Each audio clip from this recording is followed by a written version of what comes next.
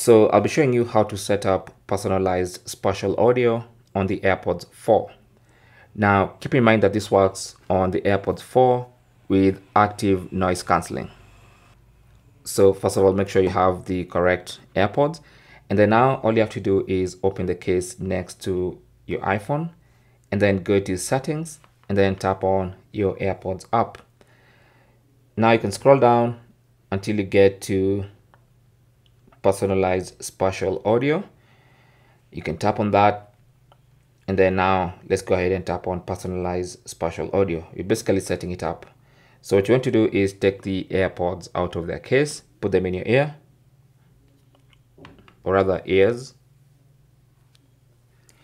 And then now it says you can use your iPhone camera to personalize spatial audio for the shape of your ears.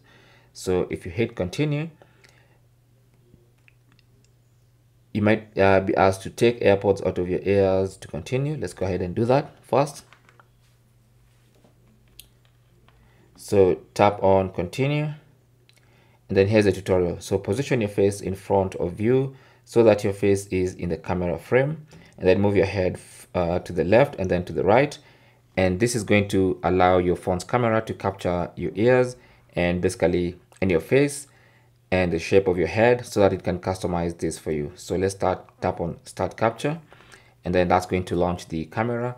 Now what you want to do is put your face in the frame like that. Okay. Now move your head to the left.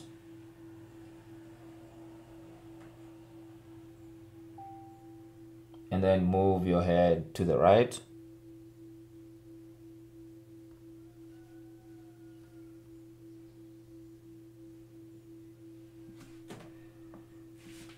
I'm just trying to do this without interfering with the camera. There you go. So you can see that has been captured. And it says you have completed your personalized spatial audio setup. You can now tap on done and that's it. So now you can put the AirPods back in your ear and you can listen to personalized spatial audio as you're listening to music. You can even tap on see and hear how it works. Just to test it out, you can hear the sound playing in your ear in stereo audio, and then now you can try spatial audio.